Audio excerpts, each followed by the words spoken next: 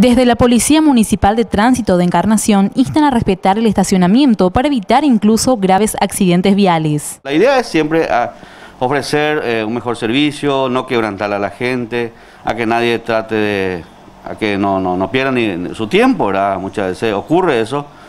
Eh, hoy día el movimiento es importante, la ciudad de Encarnación presenta un movimiento importante, más todavía en esta época.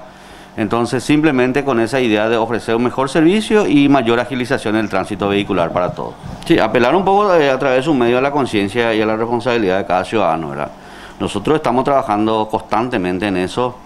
Eh, lastimosamente nada más no podemos estar el 100% eh, tratando un poco de solucionar este tema, ¿verdad? Pero en todo momento hacemos nuestro trabajo en forma aleatoria y por sobre todo a que la gente comprenda, ¿verdad? Que así como uno tiene sus propios derechos también eh, hay que responder ante el derecho de los demás, ¿verdad? Respetar por sobre todo, ¿verdad? Eh, uno no, no, puede medir de repente tal vez eh, la, la, idea o tal vez el compromiso que el otro pueda tener, así es que no podemos trastornarle a nadie en, ese sentido. Obviamente todo tiene el derecho a la libre circulación, así que en ese sentido nosotros siempre estamos trabajando y algunos sancionando por sobre todo también porque ya no se puede solucionar con el diálogo, pero no es la idea eso eh, de parte nuestra, sino que, que cada quien tenga esa eh, agilización en el tránsito vehicular y nada más. ¿En qué calles principalmente se dan estos casos?